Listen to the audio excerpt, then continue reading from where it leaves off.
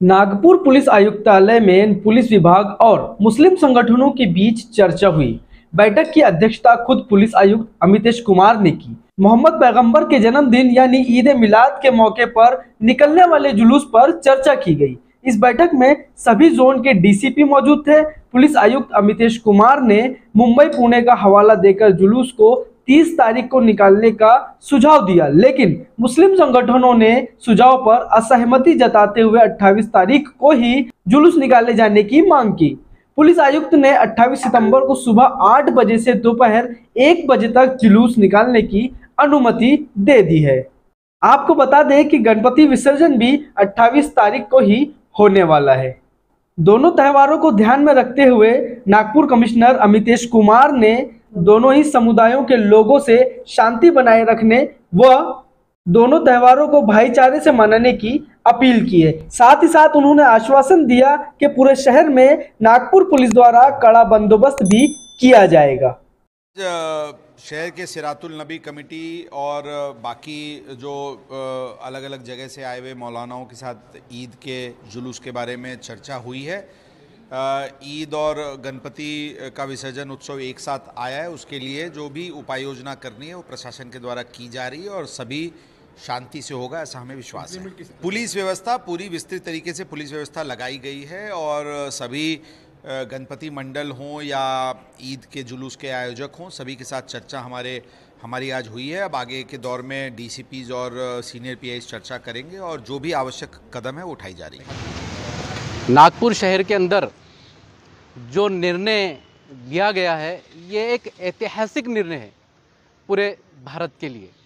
क्योंकि आज यहाँ पर जो लोग संघर्ष कर रहे थे हफ़्ते भर से, सीपी साहब से या हर कोई पुलिस अधिकारियों से, सबसे बातचीत कर रहे थे कि जश्न ईद मिलादुलनबी सल्लल्लाहु अलैहि वसल्लम 28 तारीख को है।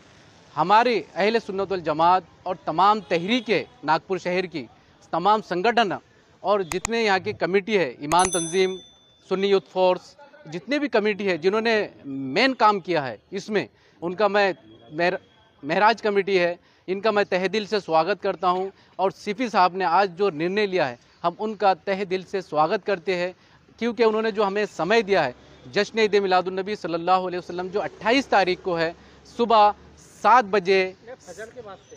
फजर के बाद से जो निकलना है अपने अपने घरों से मुख्य जो जुलूस है वो आठ बजे निकलेगा और एक बजे तक के जुलूस को समाप्त कर दिया जाएगा।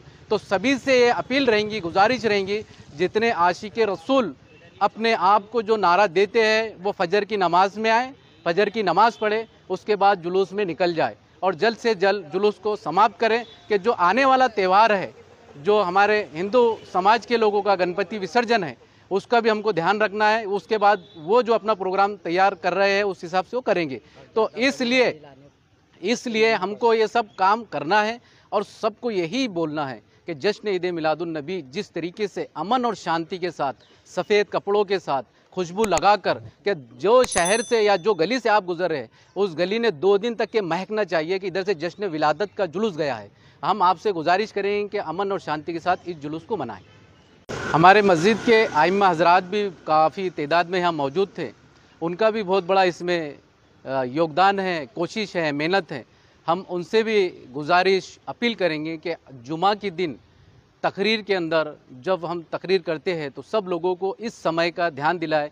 फजर की नमाज़ पढ़े बाद जश्न विलादत के लिए आपको तैयार रहना है और उसके बाद जुलूस शुरू करना है। जब हमारे आइमा मस्जिद से ऐलान करेंगे तो मेरे को ये शंका नहीं है कि कोई उनकी बात को नहीं मानेगा। पूरे ही जनता, अहल सुन्नतुल जमात के जितने आशिक रसूल है, उनकी बात को सुनेंगे भी, मानेंगे भी और उस पर अमल भी करेंगे। और आइम्मा से यही गुजारिश है कि वो जुमा के दिन इसका ऐलान करें।